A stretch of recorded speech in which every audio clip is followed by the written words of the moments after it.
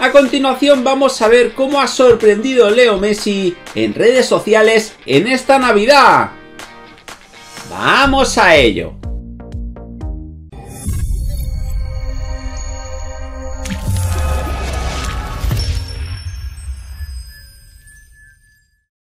Hola de nuevo gente, ¿cómo estáis? Bienvenidos a un nuevo vídeo de Objetivo Gol. Vamos con la última hora de Leo Messi y vamos a hacerlo con varias noticias. Por tanto, te animamos a que te quedes hasta el final del vídeo y a que nos dejes un buen like. Vamos sin más dilación a analizar la primera noticia y vamos a ver qué es lo que ha hecho Leo Messi en esta Navidad es algo habitual a lo largo de su carrera, casi como una tradición que intentan no quebrar. Si la agenda deportiva se lo permite, Lionel Messi, Antonella Rocuzzo y sus hijos viajan a Rosario para pasar las fiestas con sus seres queridos. En esta ocasión, el calendario del certamen francés le permitió al futbolista y su familia desembarcar en tierras argentinas horas antes del inicio de la Navidad. Tanto Leo como Anto decidieron abrir pequeñas ventanas a la intimidad de sus horas festivas a través de redes sociales. A lo largo del 24 y durante las primeras horas del 25 compartieron diversas fotos o vídeos de su celebración. Una de las primeras postales que rápidamente se viralizó fue la story que subió el jugador de 34 años parado a los pies del impactante mural que estrenaron en Rosario durante julio de este año.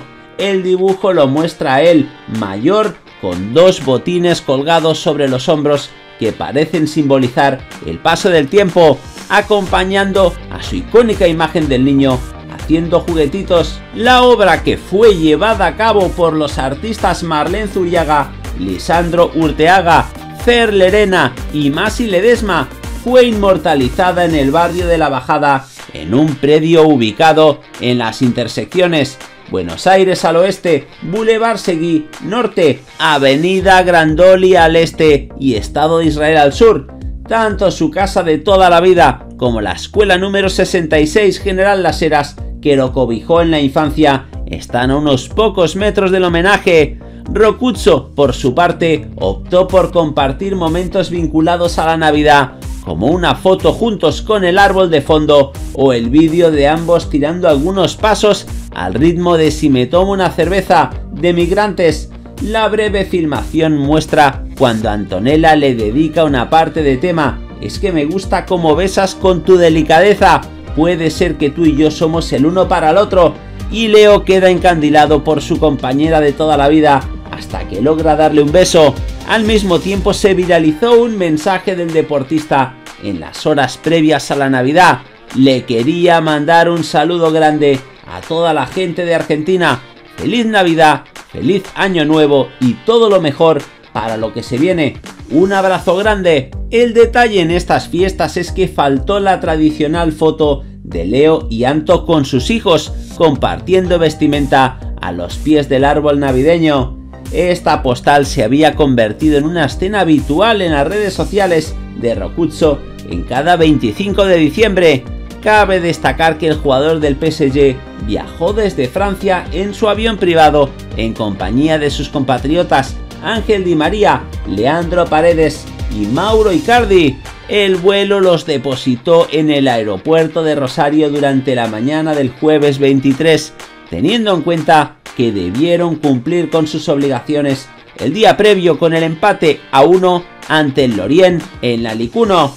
La acción para la entidad de París se reiniciará el lunes 3 de enero con el duelo por la ronda de 32 avos de final de la Copa de Francia ante el Vans Olympic Club de la cuarta categoría del país. Y es que aquí podéis ver a Messi posando detrás del mural que tiene en Rosario, en su ciudad, y por otra parte vemos aquí cómo posa con Antonella delante del árbol de Navidad. Por otra parte, TNT Sports se hace eco en su Twitter, por un lado, del mensaje que ha dejado a Argentina felicitando las Navidades. Y por otro lado, de esa velada de Nochebuena con su mujer y con la familia. Por tanto, Messi que se lo está pasando en grande esta Navidad, pero nos acaban aquí las buenas noticias y vamos a hablar del nuevo récord de Leo Messi que hizo justo antes de irse de vacaciones. Leo Messi ha supuesto un antes y un después en el fútbol.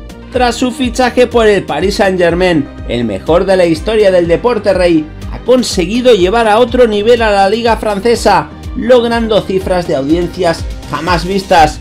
No es para menos, ya que el argentino es de esos jugadores por los que se pagan las entradas. El siete veces ganador del balón de oro y como ya hiciera en España como jugador del Fútbol Club Barcelona, sigue pulverizando récords a sus 34 años. El último lo consiguió el pasado miércoles 22 de diciembre durante el partido entre el Paris Saint-Germain y el Lorient, con 1-1 final en el marcador. Durante el choque liguero, en el que Messi jugó el partido completo, el argentino completó con éxito 11 regates. Messi es uno de los mejores regateadores de la historia del fútbol, si no el mejor.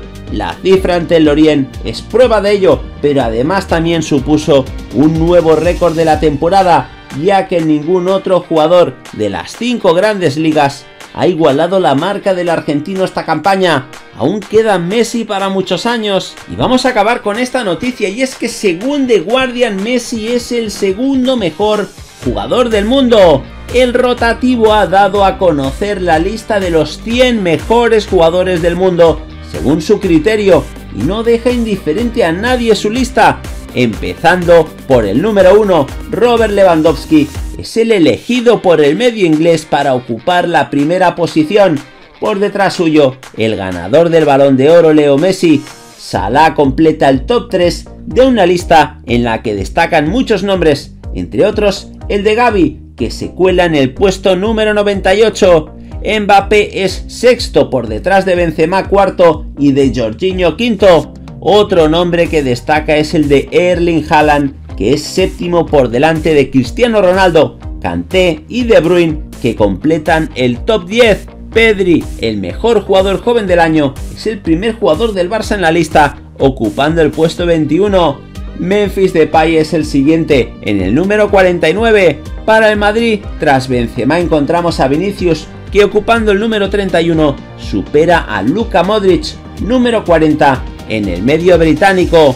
Otros de los nombres que destacan en la lista son el de Antoine Griezmann en el número 76, Sergio Busquets en el 82, Joe Félix en el 84, Mikel Oyarzábal en el 86 o Marcos Llorente en el puesto número 71. Por tanto, esta es la más que discutible lista de mejores jugadores del mundo de The Guardian. Nos gustaría saber vuestra opinión al respecto de cualquiera de estas noticias y que por favor nos la dejéis en los comentarios justo debajo de este vídeo.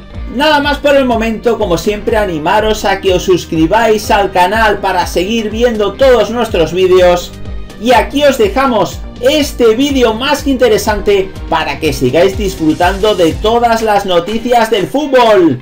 ¡Hasta la próxima!